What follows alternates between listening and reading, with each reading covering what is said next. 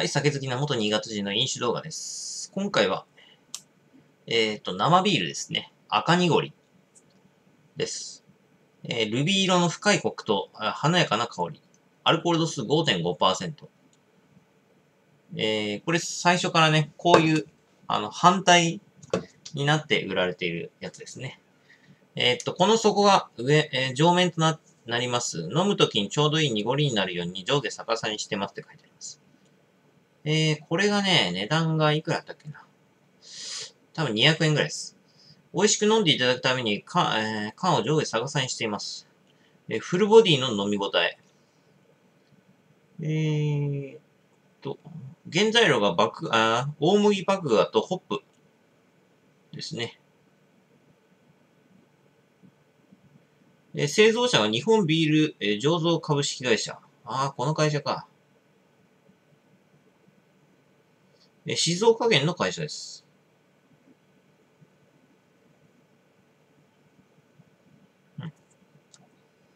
ということでね、しかもこれ表にすると、ここに透明で多分見えないんだけど、あの、こういう蓋がね、プラスチックの蓋がついてます。それでは飲んでいきましょう。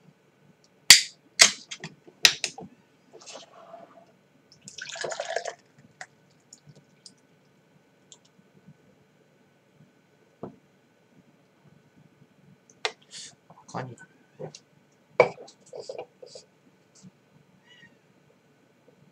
レッドビール。うん。まあ、レッド、うん、まあ、レッドっていうか、まあ、黒ビールと、あの、き普通のビールの中間ですかね。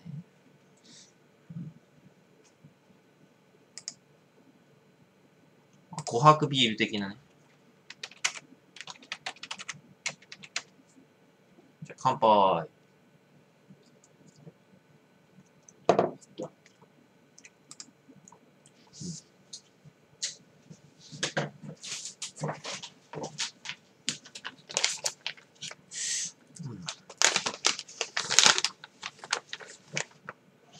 え今日のつまみはこちら。これ知りやすく言うかね。カルパス。カルパスです。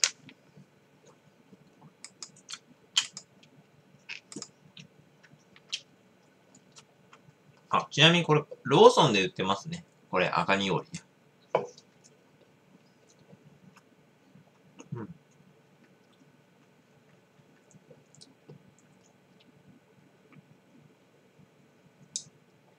えーっと、フランス産の、えー4種類の特別な麦芽により鮮やかなルビー色に作り、えーに作り、フルボディでありながら軽やかな甘みと酸味を醸し出しています。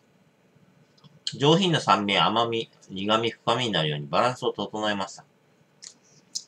うん。これは全然、あの、美味しいですね。うん。ただ、結構、あの、甘めなビールですね。まあ、甘いっていうか、で、ほとんど苦くない。うん。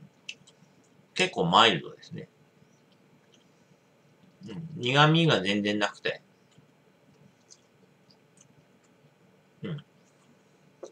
ちょっと甘みすら感じるような。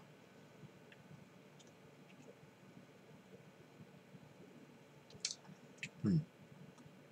かなりまろやかな。口当たり、口当たりが非常にまろやか。まあ、ただ、あの、黒ビールとかに比べると全然、あの、香りがあんまないですね。うん。結構、あ、あの、弱めですね。香り自体はかなり弱めです。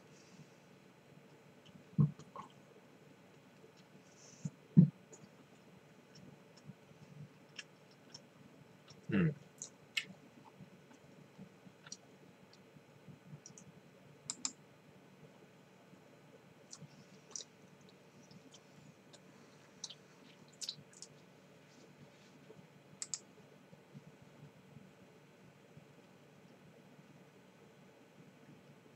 あれ？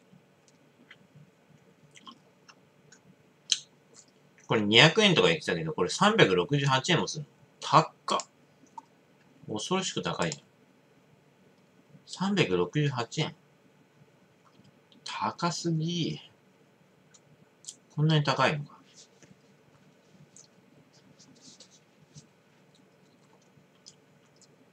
ちょっと高すぎやしませんかね。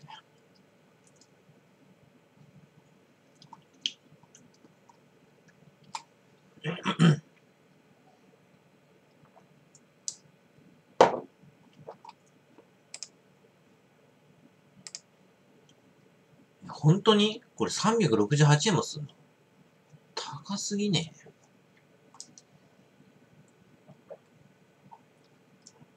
うん。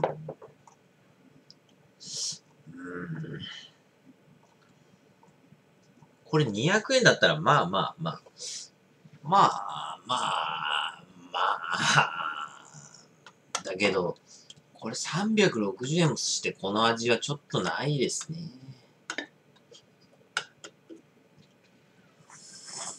まあ、俺から言わせれば普通に180円でもいいと思うけど、まあ、200円、まあ。だって普通に恵比寿のさ、琥珀恵比寿とかさ、180円とかさ、ぐらい、まあ200円ぐらいか。で売ってるわけじゃん。それなのに、これ、368円って、ちょっと、暴利じゃないですかね。ぼったくりじゃない？さすがに。普通に小さ、小悪恵比寿の方が多分うまいぞ。うん。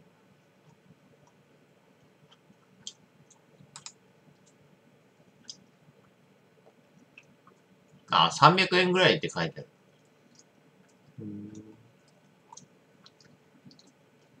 無理だな。これは俺300円は出したくねえな。このね、味で。この味で300円は俺出さねえな。絶対。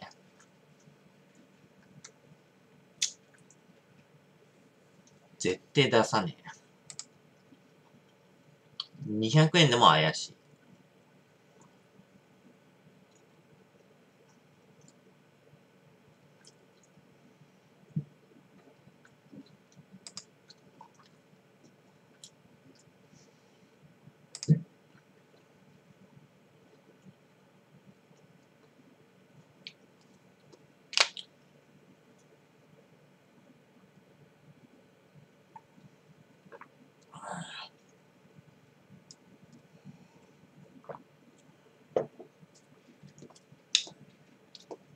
ぶっちゃけ言うと、コクも大してないんだよね。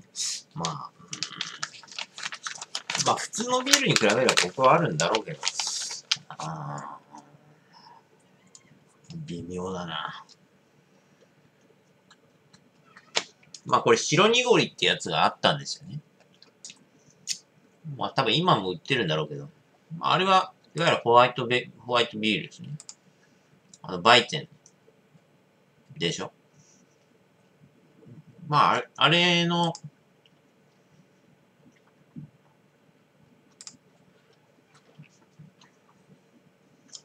うん。白濁りも大してうまか、うまかった覚えもないんだよ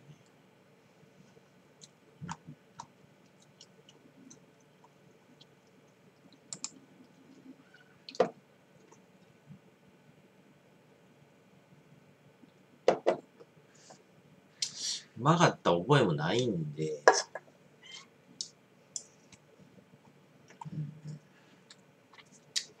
やっぱこれ安定、この、このさ、このさ、日本ビール株式会社？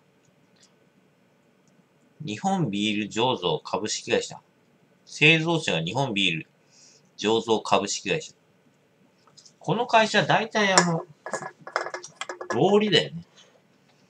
だから値段が高くて、大してうまくねっていうのが結構多いんですよ。うん。今まで何回、何回か飲んでるけど、この会社のやつ。全部大体ぼったくりだよ。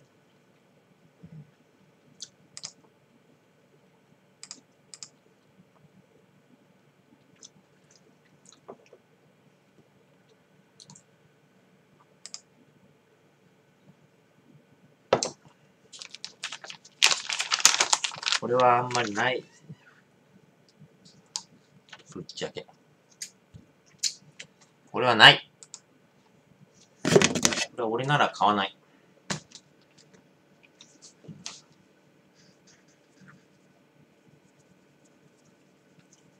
そう、最近ですね、あの、ジョギングにハマってまして、最近ジョギングをやり始めたんですけど、なかなかね、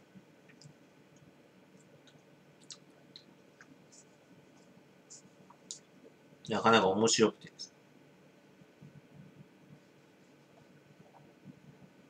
まあ、運動不足がね、たがってたんで、まあちょっと、運動不足解消も兼ねて、ちょっと走ってみるかみたいな感じで、あのージョギングシューズみたいなのを買って、で、あと、ジョギングウェアみたいなやつと、あと、タイツみたいなやつ買って、で、始めたんですけど、結構、なんか、いいっすね。なかなか気持ちがいい。皆さんもやってみてはどうでしょう。